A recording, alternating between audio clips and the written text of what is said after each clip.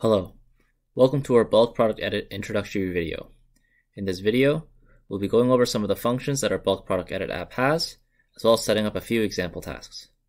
Our app can bulk edit thousands of products quickly, which can help you better manage your store, as well as saving you time. When you first open our app, you'll be greeted by our app dashboard. Here, you can access any of the features that our app has. For example, you can go and click on any of these buttons, and you'll be taken to the corresponding function. You can also click these buttons on the sidebar as well. You can also change the tab to change which part our app is editing. For example, we're currently on bulk product edit, but there's also bulk collection edit, bulk customer edit, and bulk order edit. When you change the tab, the buttons on the sidebar will change as well.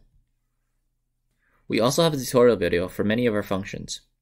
To find the tutorial videos, you can click on the link under each of the buttons and it will take you to a video tutorial of that specific function.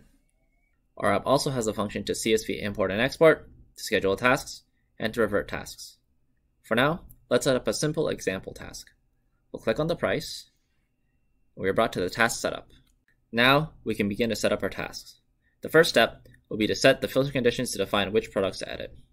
For this task, I'm going to edit the clothing collection. So I will do collection is clothing. If you have multiple conditions, you can add a product filter condition by clicking on the button below.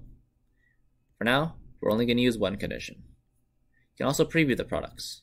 So if you click Preview Match Products, you can see that we have three products in the clothing collection.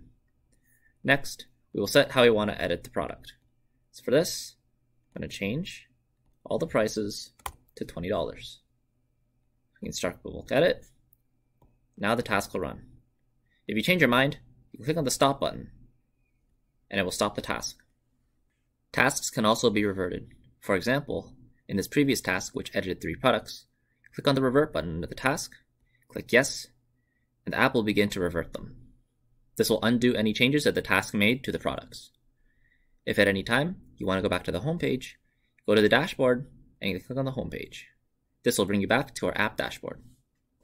By following these steps, you can bulk edit almost any attribute of your product.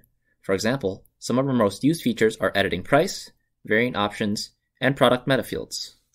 Next, we're going to create an example CSV import task to edit the products. I've already set up a CSV, as you can see here. It's just one product with the product shoes, the price, and SKU. Now, let's go to our CSV import function. Now we can click Edit Existing Products, as the shoes product already exists on my store.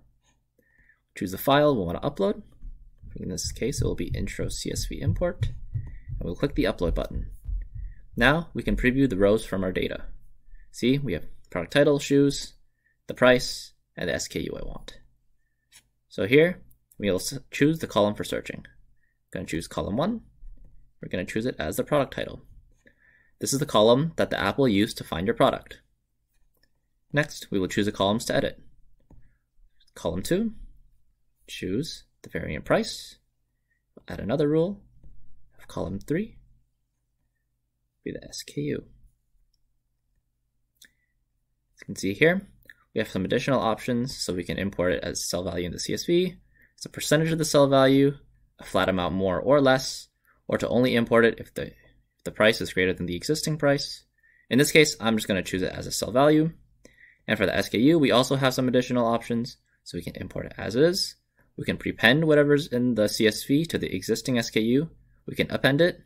We can replace text, or we can remove text. I'm just going to import it as is. Now, we'll start the CSV import, and we'll wait for the task to finish. Now the task is finished, we check the task details, and we can see that both the price and the SKU has been edited. If we go to our Shopify admin page, we can see that the price and the SKU now appear in the admin page.